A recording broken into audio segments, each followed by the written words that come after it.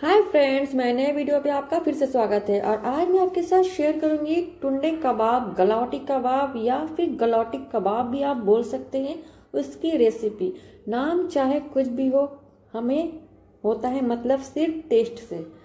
तो बहुत ही शानदार सी ये रेसिपी बनने वाली है हमारे कबाब की।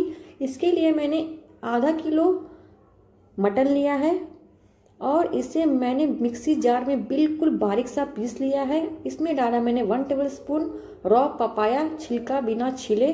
वन टेबल स्पून हम डालेंगे इसमें अदरक लहसुन का पेस्ट। और तीन मैंने हरी हरी मिर्च को अच्छे से दरदरा पीस लिया है। आप चाहे तो इसका पेस्ट बनाकर भी डाल सकते हैं, लेकिन चॉप करके ना डालें, वरना वो जायके में खलल डालता है। कबाब, क्योंकि हमारी गलावटी कबाब हम बना रहे हैं। वन टेबल स्पून मैंने भर के डाला है काजू का पेस्ट अब हम डालेंगे ब्राउन अनियन का पेस्ट एक मीडियम साइज़ के अनियन को मैंने ब्राउन करके इसे दरदरा पीस लिया है। अब हम इसमें ऐड करेंगे हाफ़ टी स्पून नमक। नमक आप अपने टेस्ट के अकॉर्डिंग कम या ज़्यादा कर सकते हैं। वन टीस्पून मैंने देसी घी डाला है इसमें। इससे हमारा जो कबाब का जो टेक्सचर है, बहुत ही सॉफ्ट मुँह में घुला घुला सा जो टेस्ट आता है, वो इसी से आता है। और जब भी आप गोश्त ले, उसमें आप ट्वेंटी परसेंट फैट ज़रूर डालें, किडनी फैट अब मैंने डाला है इसमें हाफ़ टी स्पून कबाब का मसाला। टुंडे कबाब या फिर गलावटी कबाब का एक ख़ास मसाला होता है। मैं अपने वीडियो में इससे पहले डाल चुकी हूँ। आप जाके मेरे वीडियो को चेक कर लें। गलावटी कबाब का मसाला चेक करोगे तो उसमें मेरा ये वीडियो आ जाएगा। अब हम इसे अच्छे से मिलाएँगे।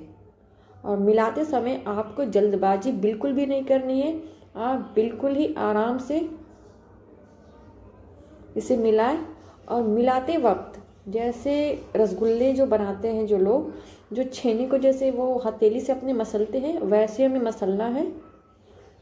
ताकि हमारे जो गोश्त थे उसका सारा जो रेसा है वो खुल के सामने आए, रच के सामने आए वो। धीरे देखिए हम अपने हथेली से इसे दबा दबा कर मसलेंगे।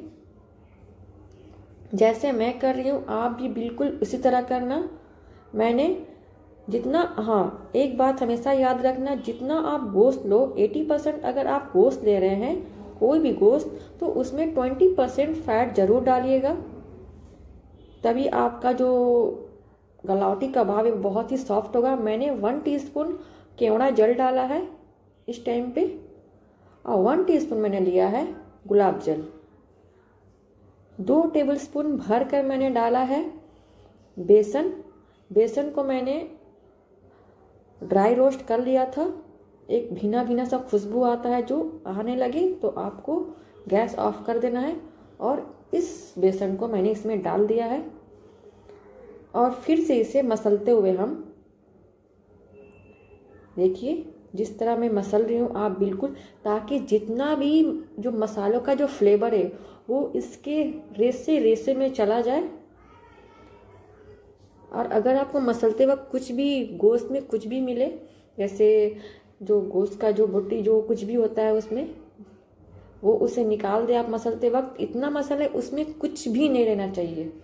देखिए, ये हमारा लगभग कंप्लीट हो चुका है।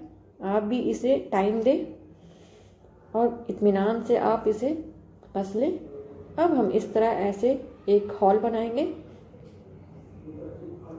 और हॉल बनाने के बाद इसमें हम रखेंगे एक बाउल। स्टील का बाउल रखें आप।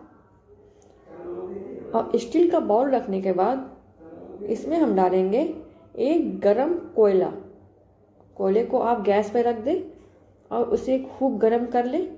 गरम करने के बाद हम इसमें रख दिए हैं और हम थोड़ा सा डालेंगे देसी घी और एक हरी इलायची का दाना। और इसे ढक के 10 मिनट तक इस इसको रखेंगे हम, ताकि जो होटल वाला जो फ्लेवर आता है, जो स्मोकी फ्लेवर आता है, वो इसमें चला जाए। अब हम एक पैन में ऑयल डाल के और टुंडे कबाब को डालते जाएँगे। ये देखिए, आपका वक्त ज़्यादा ज़ाया ना हो, इसलिए मैंने झटपट से ये कर दिया है। आप भी बिल्कुल ऐसे ही करें, कबाब के शेप में से गोल शेप में करके और एक एक करके डालें। जब हमारा एक तरफ़ से धीमे आँच में पक जाए जैसे नॉर्मल कबाब बनता है। सारा प्रोसेस जो मसलते वक्त होता है, वो प्रोसेस ज़्यादा इंपॉर्टेंट था। ये बिल्कुल जैसे कबाब जो नॉर्मल कबाब बनता है, वैसे ही इसे एक तरफ़ पक जाए स्लो स्लो फ्लेम पे। अब हम इसे पलट देना है। ये देखिए, मैं आपको बहुत ही करीब से दिखा रही हूँ। और पलटते हुए हमें, देखिए, सारे के सारे हमें पलट देना है।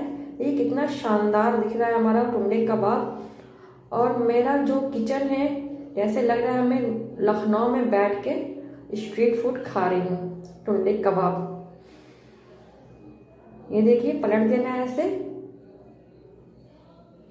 अब पलटने के बाद हमें कुछ नहीं करना है, थोड़ी देर के लिए इसे पकाना है, दूसरी तरफ़ से भी। और हमारा ज़बरदस्त सा टुंडे कबाब रेडी होके खाने के लिए तैयार है।